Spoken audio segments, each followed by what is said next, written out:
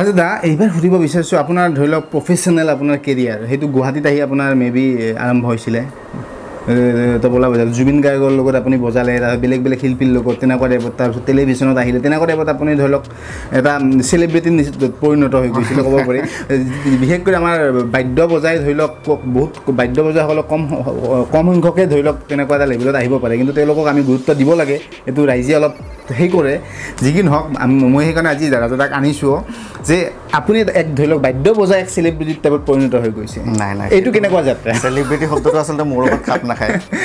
মই মই এনেকৈ ভাবোঁ মানে মই আচলতে বাদ্যকাৰ হোৱাই নাই এতিয়ালৈকে বাদ্য বজাব পৰা হোৱাই নাই। মই খালি এটা কাম কৰিব পাৰিছোঁ কোনোবাই যদি গান গায় কোনোবাই যদি সুৰ তোলে তাত মই অকণমান সহায় কৰি দিব পাৰিছোঁ। বাদ্যযন্ত্ৰী শিল্পী মই হোৱা নাই আৰু মই নিজকে শিল্পী বুলি ভাবিব পৰা হোৱা নাই কাৰণ মই আপুনি নাভাবিব ৰাইজে ভাবে। ৰাইজে ভাবে সেইটো ৰাইজৰ মৰম আচলতে। আৰু ৰাইজে মৰম মানে সেইটো মই ৰাইজৰ ওচৰত নথৈ কৃতজ্ঞ। কিন্তু মই যে আপুনি যিটো পৰ্যায়ত মোক আজি ইণ্টাৰভিউ লৈছে সেইটো পৰ্যায়ৰ আচলতে মই নহয়। মই শিল্পী হ'ব পৰাকৈ নাই। মানে এইকেইখন বৃহৎ সাগৰ মানে সেই সাগৰখনত হয়তো মানে ভৰি থৈছোঁ ভৰি আঙুলিকেইটাই তিতা নাই মানে। ইমান শিকিবলৈ আছে। আৰু শিকিবলৈহে চেষ্টা কৰি থকা হৈছে। আধা জীৱন হয়তো গুচিয়ে গ'ল কিন্তু শিকিবলৈহে চেষ্টা কৰি আছোঁ। শিকিবও পৰা নাই। চেষ্টাহে কৰি আছোঁ শিকিব পাৰিম শচীন তেণ্ডুলকাৰে কয়। নাই নাই নাই। যি কি নহওক এতিয়া আপুনি জুবিন দাৰ লগত কেনেকৈ প্ৰফেচনেল একেবাৰে কেৰিয়াৰত কেনেকৈ আহিল? অকণমান ছুটি কৰিবলৈ ভাল পাম আচ্ছা জুবিন গাৰ্গক মই লগ পাইছিলোঁ এইট্টি নাইন এইট্টি নাইনত এইট্টি নাইন মই মেট্ৰিক পৰীক্ষা দিয়াৰ পিছত। তাৰমানে তেতিয়া ফেব্ৰুৱাৰী মাৰ্চ মাহত পৰীক্ষাবিলাক শেষ হৈ যায়। এপ্ৰিল মে' জুন মাহত ৰিজাল্ট দিয়াৰ ঠিক পিছতেই নেকি? জুন মাহত বঙালপুখুৰী নাট্য মন্দিৰত যোৰহাটৰ এই পিৰিতিৰে বান্ধি যাওঁ হাতী বুলি এটা গোষ্ঠীয়ে আধুনিক গীতৰ মানে কম্পিটিশ্যন পাতিছিলে আৰু মোৰ ঘৰৰ ঘৰৰ ওচৰৰ এগৰাকী গায়িকা আছিলে গীতাঞ্জলি অধ্যাপক। তাইৰ লগত বজাবলৈ গৈছিলোঁ। তাৰপিছত হঠাৎ মোক মই বজাই থাকোঁতেই তলৰ পৰা দেখিছোঁ খুব হাই পাৱাৰ চশমা পিন্ধা চুলিখিনি তিতা দীঘল চুলি এজন ল'ৰাই মোক এনেকৈ মাতি আছে। মই ষ্টেজৰ পৰাই গ'লোঁ যে মই বজাই পেলাই গৈ আছোঁ। তাৰপিছত আহিলোঁ মোক ক'লে তোমাৰ মোক কৈছে তোমাৰ নাম কি? মই বোলো নাম ৰাজা। তবলাটো ভাল বজোৱা দেখোন হে। আহিবচোন আমাৰ ঘৰলৈ আজি। তুমি যাৰ লগত বজাই আছা মোৰ পেহী ছোৱালী তাৰ লগতে আহিবা। তে গ'ল কথা গুচিল মানুহজন নাইকিয়া গ'ল তে গীতাঞ্জলিক ক'লোঁ গতিকে বোলো মোৰ মামাৰ ল'ৰাহে ব'লা যাওঁ গ'লোঁ চিনাকি হ'লোঁ। সেইদিনাখন আবেলিয়ে দুই চাইকেল লৈ ওলাই আহিছিলোঁ যোৰহাটৰ। তাৰে এজন বন্ধু প্ৰসেনজিৎ গুপ্তাৰ ঘৰলৈ।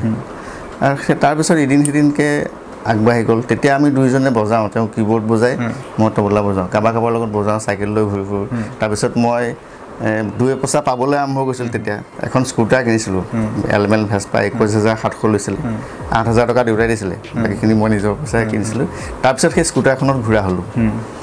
আৰু লাহে লাহে কাম হ'ল তেওঁ খুব ধুনীয়া গাইছিলে। তাৰপিছত ৰেডিঅ' চেণ্টাৰত আমি অমিতাভ বৰা বুলি এজন যোৰহাটৰ দাদাৰ লগত বজাবলৈ গৈছিলোঁ। তাৰপিছত তেওঁ জুবিন গাৰ্গ সেই তেতিয়াৰ পৰাই তেনেকুৱা এতিয়া আপোনালোকে যেনেকুৱা দেখিছে তেওঁ যোৰহাট ৰেডিঅ' চেণ্টাৰত চিঞৰি চিঞৰি গান গাই ফুৰিছিলে বকুল ফুলৰ দৰে বুলি এটা গান। তেতিয়া হঠাৎ নীলু চক্ৰৱৰ্তী ছাৰ ওলাই আহিছিল আহি পেলাই কৈছে কোনে গাইছে? মই ক'লোঁ গল্ডি তাৰমানে জুবিনক আমি গল্ডি বুলি কৈছে গল্ডি কোন? বোলো জুবিন কীবৰ্ড বজাবলৈ আহিছে। কৈছে মোৰ ৰুমলৈ আনাচোন ল'ৰাজনক। তাৰপিছত মই না নাপালোঁৱেই। সিফালে নীলুদাই গৈ পেলাই তাক লগ পালে। চিনাকি হ'ল কথা পালে। কৈছে ইমান ধুনীয়া মাত তোমাৰ কথা তুমি গান গাবলৈ কৈছে নাই মই গান নাগাওঁ মই গান লিখোঁ বজাওঁহে মই। তাৰপিছত গৈ এদিন তিনিটা গান ৰেকৰ্ড হ'ল সিহঁত। আৰু যেতিয়া বাজিছে তাৰ পিছদিনাখন কলেজত যেতিয়া সোমাইছোঁ যি শুনিছে মানে সি আপ্লুত হৈ গৈছিলে যে কি সুন্দৰ মাত মানে। তেতিয়া মনৰ নিজানত গাইছিলে গানে কি এনে গাইছিলে বকুল ফুলৰে গাইছিলে আৰু প্ৰীতি সুবাসে গাইছিলে। আটাইকেইটা গান তবলাতে বজাইছিলোঁ। কেইবাজনো যোৰহাটৰ দ্বাৰা আছিলে। এই লাহে লাহে আৰম্ভ হ'ল আৰু তেওঁৰ লগত যাত্ৰা। তাৰপিছত আপুনি এতিয়ালৈকে চলি আছে। আচলতে তেওঁক লগ পাইহে মই অকণমান ইণ্টাৰেষ্টটো বাঢ়িলে। নহ'লে চাগে মই সেই তবলা বজোৱা ৰাজাই হৈ থাকিলোহেঁতেন যোৰহাটতে তেওঁ বহুত ষ্টাডি আছিলে তেতিয়া মিউজিকৰ ওপৰত বহুত জানে বিথুফেনৰ কথা তেওঁ তেতিয়া মোজাৰ্টৰ কথা জানে। বহুত পঢ়িছে তেওঁ। তেওঁ সৰু তেতিয়াই মোক সেই শিৱমণিৰ ভিডিঅ' দেখুৱাইছে। পৃথিৱীৰ বিভিন্ন পাৰ্কাচনিষ্টবিলাকৰ ভিডিঅ' দেখুৱাইছে। বিভিন্ন কথা আলোচনা চিনেমাৰ ওপৰত তেওঁ তেতিয়া অজস্ৰ দখল বহুত চিনেমা চাই। গতিকে তেওঁক লগ পাই মানে মই এখন ডাঙৰ কিতাপ লগ পাই যোৱা নিচিনা হ'লো মিউজিকত। হয়। এতিয়া আপোনাক বিভিন্ন টেলিভিশ্যন চেনেলত অডিয়েঞ্চে দেখি থাকে। কোনোবা আপুনি পাৰ্টিকুলাৰ এটা অডিয়েঞ্চ টেলিভিশ্যন চেনেলত ধৰি লওক বজাই নে কেনেকুৱা? আচলতে তেনেকুৱা নহয় মই প্ৰাইডিছ এণ্টাৰটেইনমেণ্ট একদম জন্মলগ্নৰ পৰা একদম প্ৰথম দিনাখনৰ পৰা বজাইছিলোঁ পুলক বেনাৰ্জী ছাৰে গাইছিলে প্ৰথম দিনাখন। সেইদিনাখনৰ পৰা বজাইছিলোঁ। আৰু তেতিয়াৰ পৰা বজাই আছোঁ তেওঁলোকৰ মোৰ ওপৰত কিবা এটা মৰম বিশ্বাস আছে। গতিকে তেওঁলোকৰ পাঁচটা চেনেলত গোটেইকেইটাতে বেলেগ চেনেললৈ বেলেগ চেনেলতো যাওঁ। গ'লে মানুহে নিউজ লাইভত চাই আছোঁ বুলি ভাবে আচলতে। বা নিউজ লাইভৰ কিবা চেনেলত বেছি থাকে বেছিকৈ।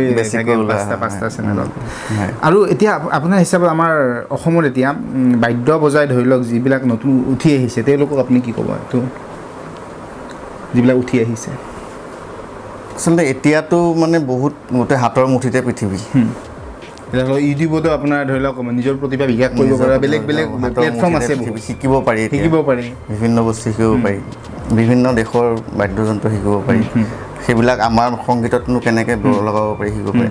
আচলতে সংগীতটো বেলেগ একো নাই। ইটছ এ ড্ৰিম সপোন। যি সপোন দেখিছে সি প্ৰেক্টিচ কৰিব লাগিব সময় দিব লাগিব। সাধনাই সাধনাৰ আল্টিমেট একো নাই মানে। যি সাধনা কৰিব সি হয়তো কিবা এটা পাব। আৰু সময় দিব নোৱাৰিলে সেই জেগাটো পোৱাটো দিগদাৰ। আমি এতিয়া বজাই খাই আছোঁ বহুতখিনি সময় দিব পৰা নাই। তাৰ কাৰণে অলপ মানে পস্তাৱাও আছে। ধৰি লওক দিনটোত পাঁচ ঘণ্টা প্ৰেক্টিচ কৰিব পৰা নাই। কিন্তু কেতিয়াবা মন যায় যে গোটেই দিনটোৱে বজাই থাকিম নেকি? কিন্তু কাম কৰিবলৈ নগ'লেও চলিবলৈ দিগদাৰ ধৰি লওক। গতিকে বহুত কিবা কিবি এৰি থৈহে এইখিনি জেগালৈ আহিছোঁ। মানে হোম মিউজিকত আছোঁ। আপুনি ক'ৰবাত শিকিছিল নেকি একেবাৰে? এইটো বজোৱাটো ক'ত শিকিছিলে? মই শিকিছিলোঁ যোৰহাট সংগীত বিদ্যালয়ত। ইন্দেশ্বৰ শৰ্মাদেৱৰ স্কুল আছিলে। মোৰ তাতে গুৰু আছিলে প্ৰমোদ দাস ছাৰ তেখেত ঢুকাইছে। তাৰপিছত মই আহি গুৱাহাটী অসমৰ ভাৰতবৰ্ষৰ এজন বিখ্যাত তাবলিষ্ট যাৰ ৰেংক গোটেই ইণ্ডিয়াতে আছে পৱন বৰদলৈ ছাৰ। তেখেতৰ ওচৰত শিক্ষা ল'বলৈ গৈছিলোঁ। কিন্তু খুব কম যোৱা হয় ছাৰে সদায় গালি পাৰে। যোৱা নহয় কাৰণে। গতিকে চেষ্টাহে কৰি আছোঁ মই সেইটো বাৰে বাৰে কৈছোঁ একো কৰিব নাই বহুত কৰিছে আপুনি।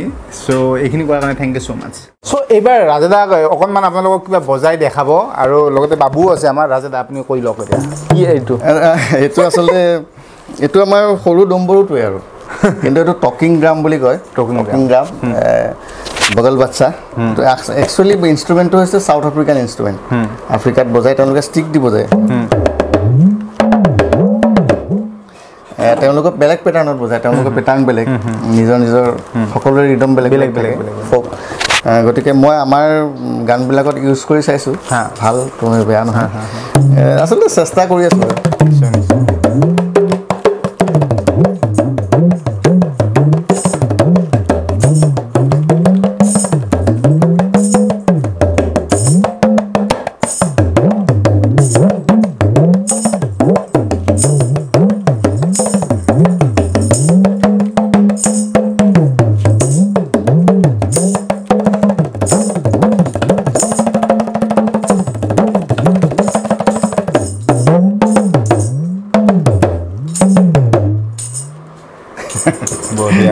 নিশ্চয় নিশ্চয় বঢ়িয়া Perfect. Thank you so' thank you so' much